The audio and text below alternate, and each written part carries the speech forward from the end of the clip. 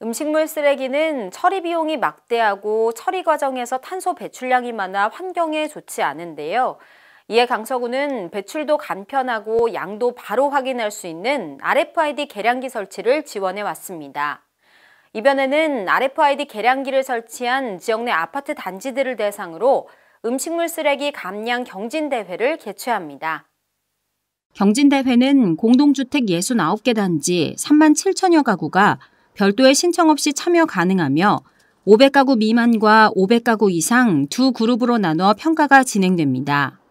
올해 5월부터 11월까지의 월 평균 세대별 발생량, 전년도 동기간 대비 감량률 등을 종합적으로 평가합니다. 평가 후 입상한 공동주택에는 부상이 주어지며 500가구 미만은 최대 50만 원, 500가구 이상은 최대 120만 원 상당의 생활쓰레기 종량제 봉투가 지급됩니다. 또한 강서구는 60세대 이상 공동주택에는 RFID 종량기를, 150세대 이상 공동주택에는 대형 감량기를 무료로 설치해주고 있습니다. 신청을 원하는 공동주택은 신청서와 함께 동대표 또는 입주민 과반의 동의서를 우편으로 제출하면 됩니다.